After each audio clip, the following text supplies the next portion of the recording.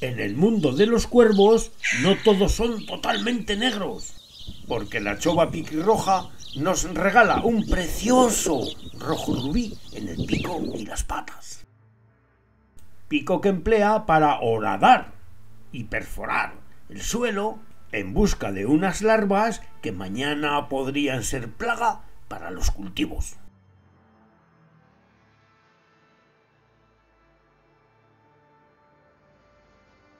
Busca como la que más cualquier bicho que vaya apareciendo tras voltear la tierra con el tractor. Revisarán todo, no dejarán ni un solo rincón sin mirar, destruirán cualquier plaga que pueda afectar a la futura cosecha. Cosechas que nunca tocarán, porque son exclusivamente insectívoros larvas y puestas de huevos de las plagas. Ahora en marzo se están moviendo por sus cuarteles de cría. La piquirroja se empareja para toda la vida. Así que los bandos de invierno también son parejas prácticamente los que la componen. Es justo ahora cuando más vais a disfrutar de este maravilloso pájaro. Y como las localicéis en algún sitio donde también está criando el cernícalo primilla, observando a estas dos especies vais a pasar una mañana maravillosa. Y si además conseguís ver algún cortejo nupcial, vais a flipar.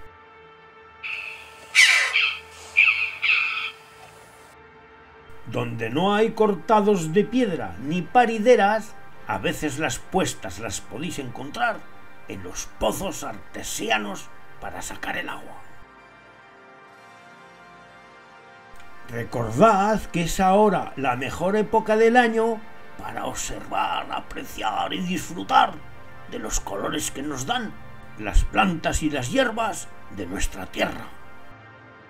Conocer las propiedades medicinales que casi todas ellas nos otorgan propiedades medicinales sin efectos secundarios. Es una pasada saber que la peonía la distribuyeron los romanos por la península ibérica porque la llevaban como medicina de campaña. Sabiduría de hace más de 3.000 años que no debemos perder. En la naturaleza, todo, todo, todo es importante y muy interesante. En una balsa con barro podremos saber qué bichos merodean por las noches. Yendo solos o acompañados, podremos especular qué bichos se han movido esta noche recientemente por la balsa.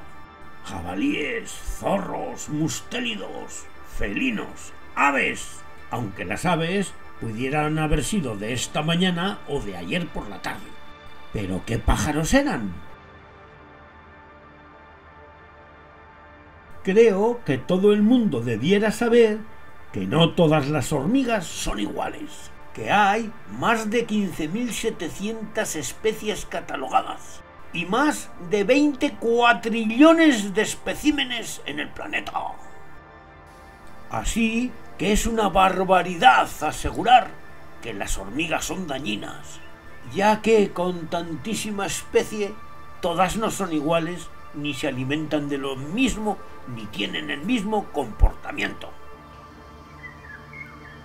Unas polinizan, otras nos libran de desechos indeseables que podrían causarnos infecciones.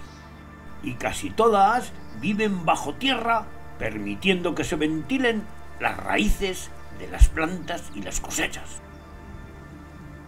que no hay insecto malo, que solo hay insectos desconocidos, que no debéis tenerles miedo, que fijaos el Sistoechus que podría llegar a aterrorizar al más fornido boxeador. Ese pincho al que podríamos temer no es más que la boca. Solo le sirve para comer, está hueca y no pincha.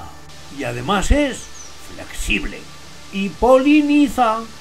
De modo que observar a los insectos, aprender de ellos, saber cuáles son y cuídalos, consérvalos, no los mates, que sin ellos el mundo está perdido.